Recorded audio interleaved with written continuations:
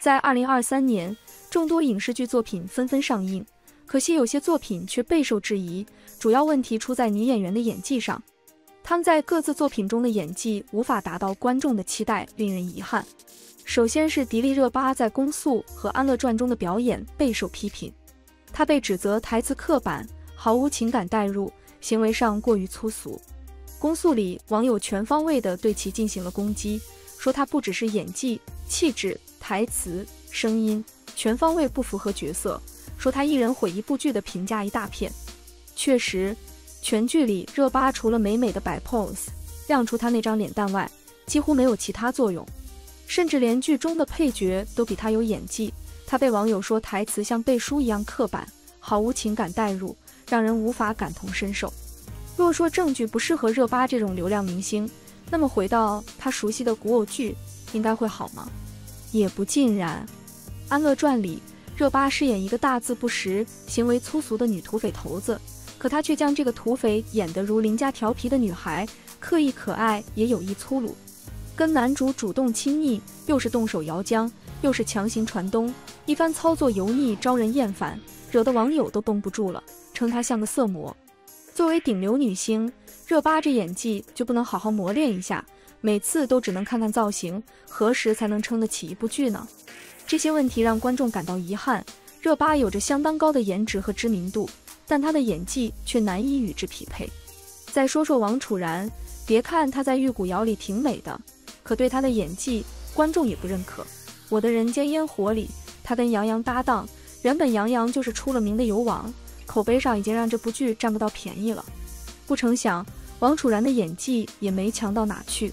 女主的演技浮夸，跟杨洋不分上下。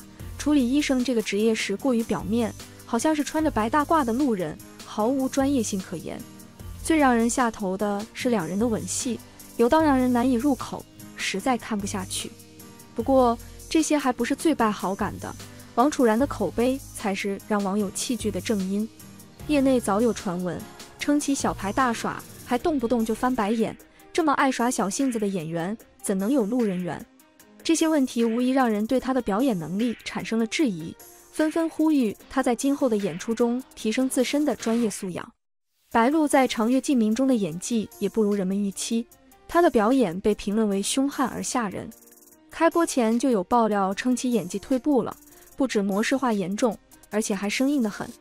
播出后问题确实如此，白鹿在剧中的表情过于浮夸。哭时扯着所有五官做到最大幅度，吵架时也是放弃表情管理，嘟着嘴声嘶力竭的乱喊，太过夸张。网友评论其凶悍吓人，观众对于他的表演感到失望，纷纷表示期待他能在今后的作品中有更好的发挥。然后我们来谈谈张小斐。原本凭借你好，李焕英已经跻身一线咖位的张小斐，从前年起就能与杨幂、赵丽颖这样的一线女星位列铜牌了。还一举摘得了金鸡最佳女主的桂冠，算是十八线小咖翻身逆袭的典范。可遗憾的是，自李焕英之后，她并未趁着热度高歌猛进，而是陷在了各种狗血剧上。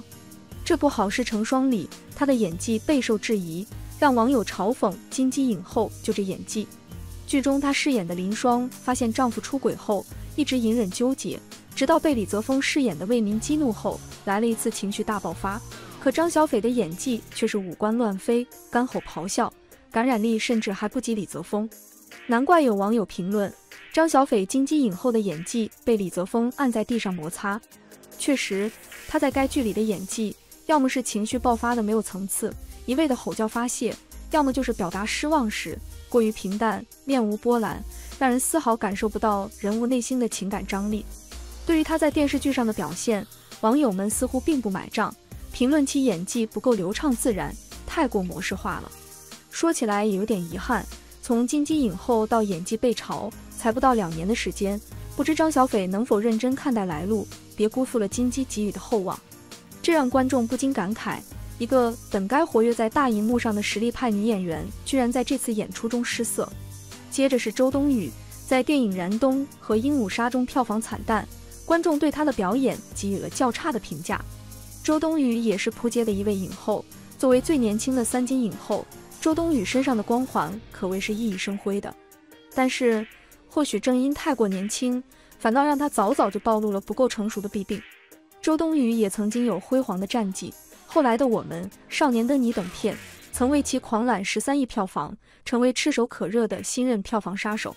可今年连上的两部电影《燃冬》和《鹦鹉杀》全部遭遇了滑铁卢，票房惨淡，口碑扑街。《燃冬》剧本本身就有硬伤，周冬雨饰演的娜娜在与男主浩峰亲密接触时，内心竟然想的是与男二在发展感情。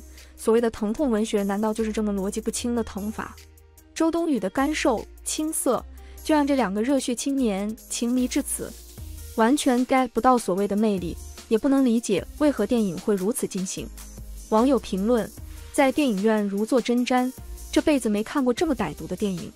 豆瓣给了个六点一的评分，这里面还包含了给这位三金影后留面子的成分。不少人坦言，根本看不出电影所谓的高级感。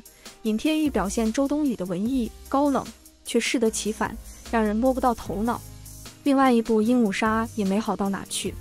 还是一部狗血剧情，两男一女的感情纠葛，文艺台词的腔调，顺带着塞进了悬疑的元素，看上去怪怪的。周冬雨饰演的周然有用力过猛的嫌疑，一面是干净儒雅、坦率柔弱的，可一个转身，他就眼神犀利，腹黑仇恨。这种转变毫无铺垫，却有让人毛骨悚然的反转感，但更多的是让人觉得莫名其妙。其他女演员好在还有造型可看。任敏今年的剧就惨到连妆容都被炒了。玉骨遥刚开播，任敏就因鼻头宽大、头套太假被网友嘲讽太丑。确实，作为女一号，任敏不只要跟美少年肖战搭戏，最关键的是剧中还有一位艳压她的女配王楚然。任敏跟男主颜值不匹配不说，就连妆发都不及女二号好看，这让观众怎么忍？尤其是她对镜头的那段戏，被网友截图反复差评。评论其还不及剧中的丫鬟好看，王楚然不费吹灰之力就在剧中吊打了任敏。除了颜值被嘲之外，任敏的演技也退步了。演女主机灵可爱的戏份，她竟然也用眼珠子乱转，表情夸张代替。说到兴起时，还摇头晃脑的，太不稳重。另一部剧《欢颜》里，任敏从造型到演技又一次背对。或许是因为《玉骨遥》里她被讽刺脸大，到《欢颜》时。后期竟然把她的脸修小了，可怎么看上去格外失真，演技也被剧中的其他人比了下去。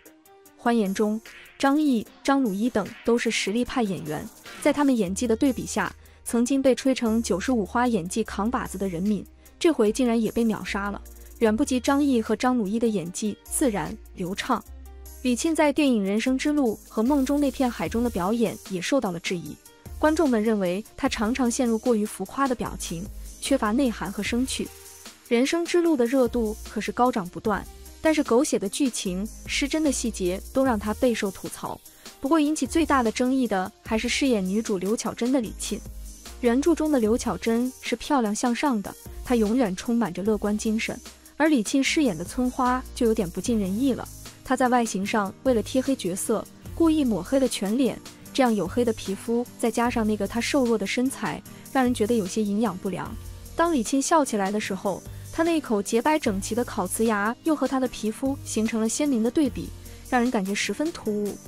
当她为了博得男主的欢心，去发廊烫了卷发后，就更有喜感了。不但没有对她的黑瘦的外形有一点修饰，反而这一头泰迪卷还把她衬得不土不洋的。虽然之后他又扎起了麻花辫，但额头上仍然是卷毛刘海，这样的造型让他即使是泪目的戏份，也让人觉得有些喜感。于是很多网友纷纷吐槽，这是对农村的姑娘有刻板印象，甚至搬出了八十年代时吴玉芳饰演的刘巧珍，当时的她脸颊带着婴儿肥，扎着两个小辫，青涩的让人觉得那才是村花应该有的模样。这些问题使我们意识到，一个优秀的演员应当注重内外兼修。不仅要有出色的演技，也要有深度的角色突破。最后是杨超越，七十吉祥和虫子中的演技同样备受质疑。观众们批评她经常瞪眼、装疯，缺乏表情的差异性和进步。这让我们感叹：一个女演员虽然具备颜值和知名度，但她的演技依然是观众们关注的焦点。这八位女演员在二零二三年的作品中的表演无法满足观众的期待，令人失望。这些剧明明阵容制作都十分强大，按理来说更应该让人眼前一亮，没有想到都纷纷拉胯，甚至女主都成为了其中的败笔，这属实让人有些意外。所以说，无论是多大规模的阵仗，播出以后总会现出原形，因此还是好好打磨剧本以及认真选角才是最重要的。希望他们能吸取这次教训，更好地展现自己的实力。